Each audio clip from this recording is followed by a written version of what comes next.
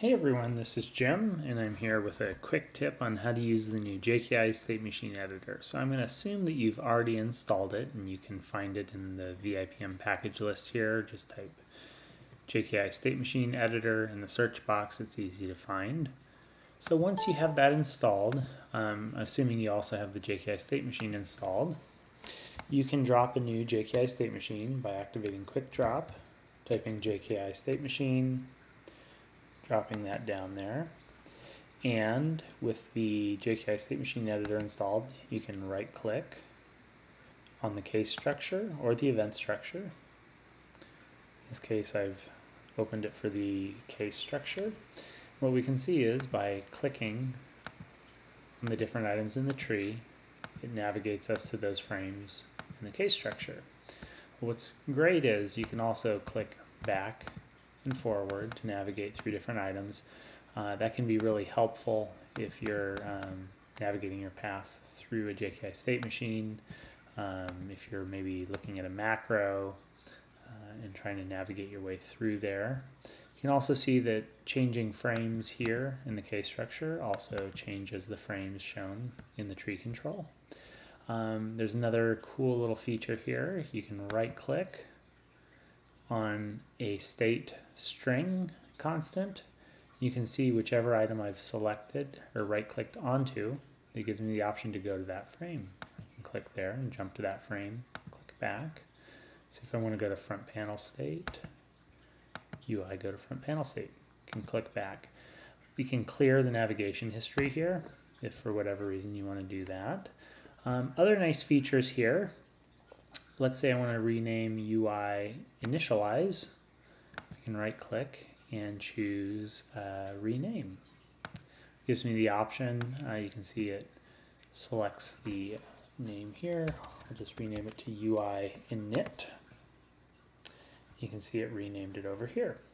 Now if we look at macro initialize, we'll see that um, that's calling data initialize. Let's say that I wanted to rename data initialize to data init. So I can do that right here, rename the frame, data init. And what you'll also notice when I hit the OK button, it changes it all, in all the string constants as well inside this JKI state machine. So that's pretty handy. Other things that you can do too, um, you can reorder your frames here. Let's see, drag and drop them to reorder.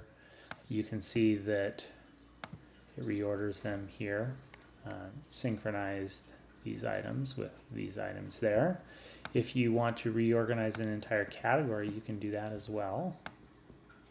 It's pretty handy. Uh, you can uh, choose to rename this guy. Um, you can see uh, it's definitely a very handy tool here. You can right click on a frame and choose duplicate. You can see it's copied that. Um, you can also, if you want, you can copy a category. Let me see if I duplicate that frame. It also makes that a category.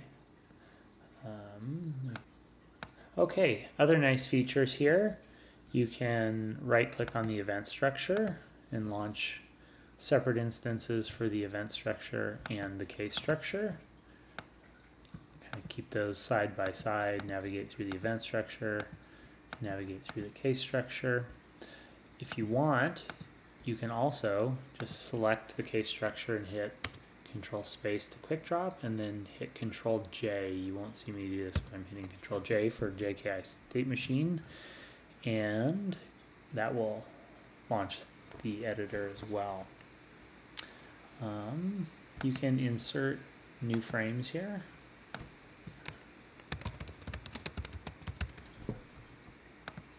Create a new blank frame for you.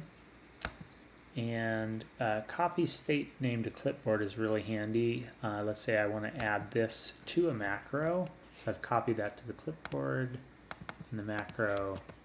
Let's just then paste that in there. Um, pretty handy. So hope you find this tool helpful. If you have any feedback, please feel free to uh, leave that for us. Let us know what features you want. If you find any issues, we'll try our best to fix them. Uh, have fun and let us know. Thank you.